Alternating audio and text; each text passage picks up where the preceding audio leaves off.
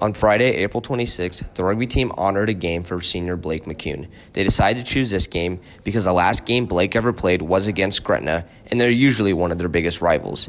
Blake has added motivation for this team this season. A lot of the reason that we're playing is for Blake, like he's our motivation. Um, because every time that we go out there, we know that we're going to try to do our best to win the game for Blake, and that's how we're going to carry on through the rest of the season. After Blake's passing, it has shifted the focus of this team to play for something bigger.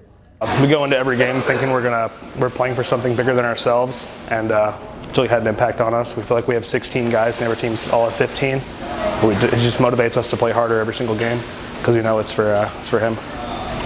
In the end, they are now more of a family than just known as a team.